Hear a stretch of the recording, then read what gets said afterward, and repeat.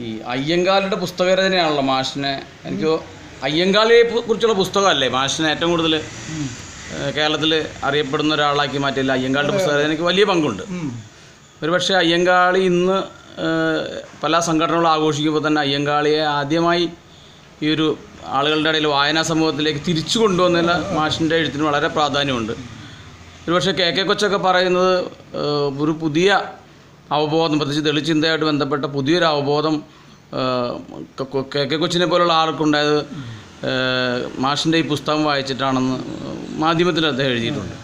അപ്പോൾ ഈ പുസ്തകരചനയും അതേ തുടർന്നുള്ള അതിനെ അതിന്റെ അതിന്റെ അതുമായി ബന്ധപ്പെട്ട ചന്ദാശ്ശേരി മാഷിന്റെ അനുഭവം എന്ന് പറഞ്ഞാൽ കൊള്ളായിരുന്നു.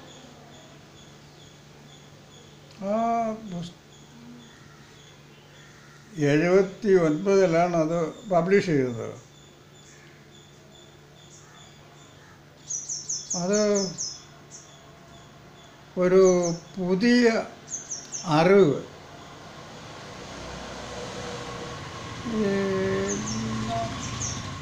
ദലിതരുടെ ഇടയിൽ ഉണ്ടാക്കി എന്നുള്ളതാണ് അതിന്റെ പ്രത്യേകത.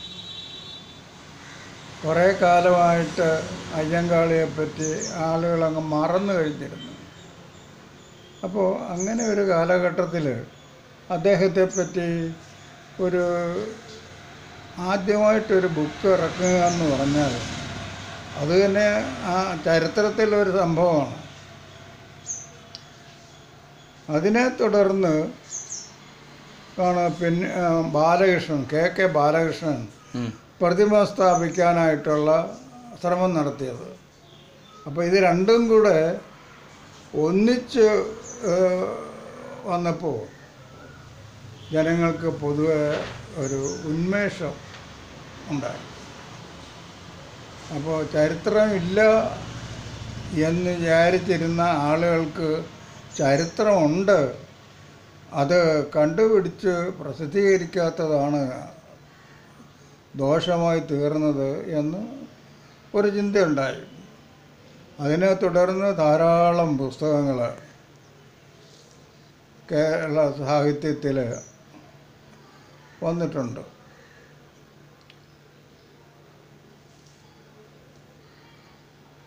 അത് ഒരു എഡീഷൻ കൊണ്ടല്ല എട്ട് എട്ട് ഒൻപത് എഡീഷൻ കഴിഞ്ഞു.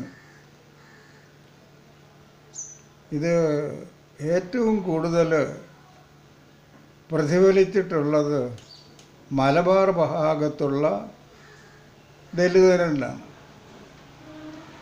അവർക്കതൊരു പുതിയ അറിവാണ്. നമ്മുടെ സമൂഹത്തിന് ഒരു ചരിത്രമുണ്ട്. ആ ചരിത്രം കണ്ടെടുക്കണം. അതിനുവേണ്ടി ശ്രമിച്ച എന്നെ ഗുരു എന്ന് വരെ വിശേഷിപ്പിച്ചുകൊണ്ട് കത്തുകൾ കിട്ടിയിട്ടുണ്ട്. പല ദലിത് സാഹിത്യകാരന്മാർ പോലും പ്രത്യേകിച്ച് കവിയൂർ മുരളി മുതലായ ആളുകൾ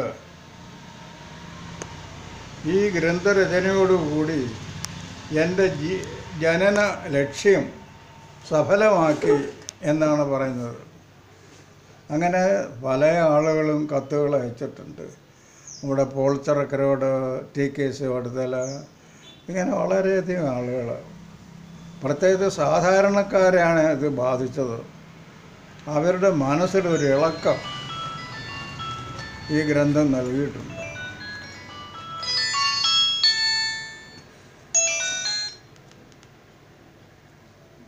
എത്ര നിമിഷം?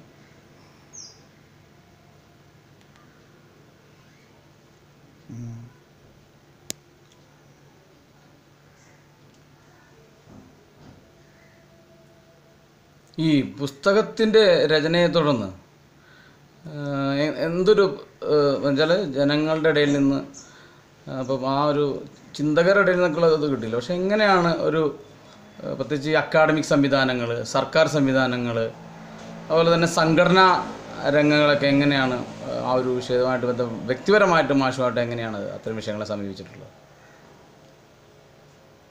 പല മാധ്യമങ്ങളും ഇതിനെ വിമർശിച്ചുകൊണ്ട് എഴുതിയിട്ടുണ്ട്. അത് അവർക്ക് തന്നെ ഒരു പുതിയ അറിവാണ് അയ്യങ്കാളിയെപ്പറ്റി. ഇങ്ങനെ ഒരു ചരിത്രമുണ്ട് എന്നുള്ളത്.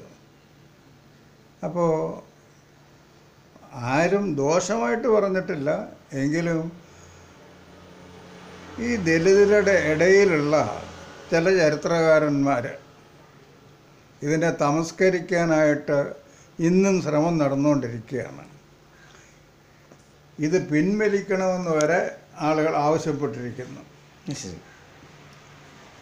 അത് സതുദ്ദേശത്തിലല്ല എന്തെങ്കിലും ദുരുദ്ദേശത്തോടു കൂടിയുള്ള അവരുടെ ആ പ്രസ്താവന വാസ്തവത്തിൽ സമൂഹത്തിന് അത് ഗുണം ചെയ്യുന്നില്ല. ഇനിയും സമൂഹത്തിന് അല്ല കേരള ചരിത്രം എന്തായിരിക്കണം എങ്ങനെ ആയിരിക്കണം എന്നൊരു കാഴ്ചപ്പാട് മുന്നോട്ട് വയ്ക്കുന്ന കൃതികൾ വരെ ഞാൻ രചിച്ചിട്ടുണ്ട്. അത് ഭാവിയിൽ കേരള ചരിത്രത്തെ തന്നെ മാറ്റിമറിക്കും എന്നൊരു വിശ്വാസമാണ് എനിക്കുള്ളത്. എന്നുവെച്ചാൽ പല ചരിത്രകാരന്മാരും എന്റെ ഗ്രന്ഥത്തെ ആസ്പദിച്ച് അവരുടെ രചനയിൽ തന്നെ ചില മാറ്റങ്ങളൊക്കെ അവർ വരുത്തുന്നുണ്ട്. അവരുടെ കാഴ്ചപ്പാടിൽ തന്നെയും മാറ്റം വരുത്തുന്നുണ്ട്. ചരിത്രം എന്ന് പറഞ്ഞാൽ രാജാക്കന്മാരുടെ ചരിത്രം മാത്രമല്ല യുദ്ധം നടത്തിയതിന്റെ ചരിത്രമല്ല കേരള ജനതയുടെ ചരിത്രമാണ്. അല്ലെങ്കിൽ അവർ ജീവിച്ച ചുറ്റുപാടുകളുടെയും അവർ ജീവിച്ച സമ്പ്രദായ രീതികളുടെയും അവരുടെ സമൂഹത്തിന്റെ പരിണാമങ്ങളെ പറ്റിയുമുള്ള ചരിത്രം ആണ് കേരള ചരിത്രത്തിൽ ഉൾപ്പെടുത്തേണ്ടത്. പക്ഷേ ആ നിലയിലേക്ക് ചരിത്രം രചിച്ച് തുടങ്ങിയിട്ടില്ല. അത് ഉണ്ടാകുമെന്നുള്ളതിന് ഒരു സംശയമില്ല